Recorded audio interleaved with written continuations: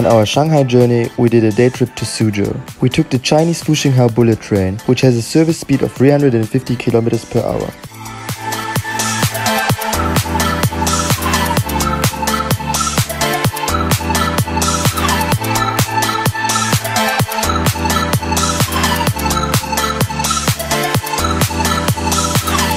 We just arrived at Suzhou railway station.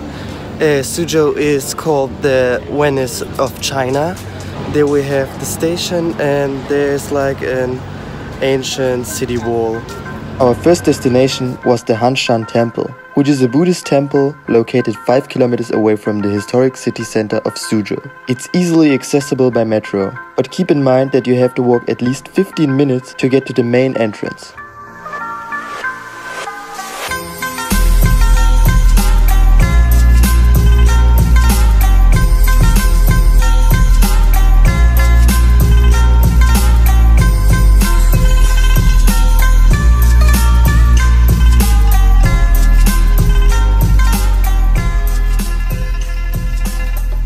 We are currently in the central part of uh, Suzhou.